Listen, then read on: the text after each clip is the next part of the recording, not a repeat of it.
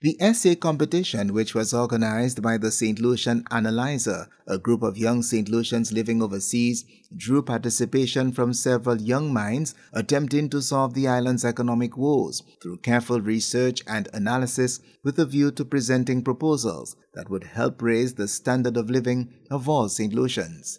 The organizers have received the commendation of Parliamentary Secretary in the Ministry of Education, Sustainable Development, Innovation, Science, Technology and Vocational Training, Senator Honorable Dr. Pauline Antoine Prosper, for their foresights in putting the island's youth at the forefront of solving the country's fiscal issues.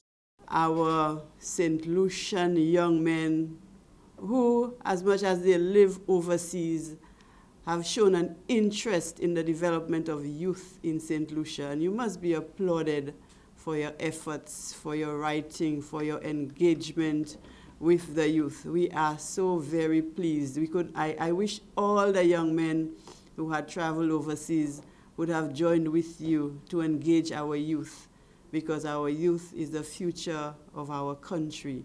And I do not have enough words to thank you for organizing this essay competition.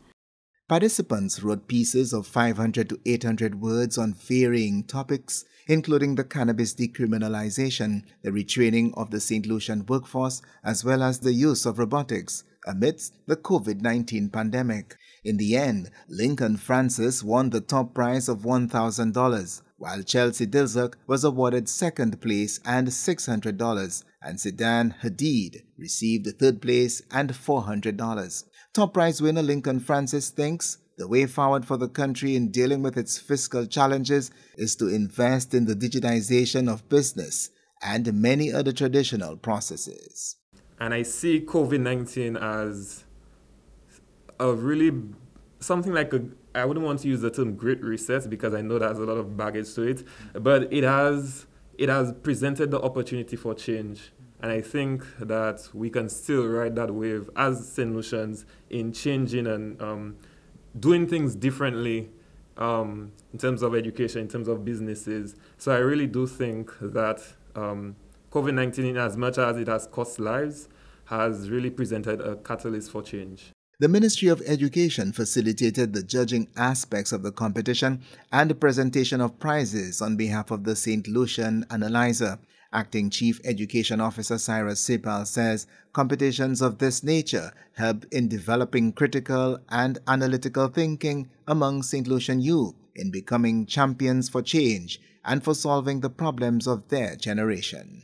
Not persons who will just simply um, develop a knowledge or to have content based knowledge. I'm sure now you having participated in this um, competition were you're able to come up with that piece. I'm sure it was not just simply you go on the internet, copy and paste and put it there. You're able to critically analyze the situation and use your skills, okay, both in terms of the language and other areas to bring together a piece that now that you're being awarded. Organizers are said to be looking forward to continuing the essay competition with the rollout of a 2022 component on another challenging topic aimed at developing the youth and the country in general.